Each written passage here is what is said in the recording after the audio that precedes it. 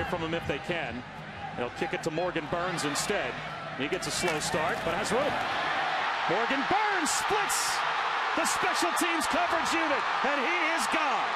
Just like that, Kansas State on the board.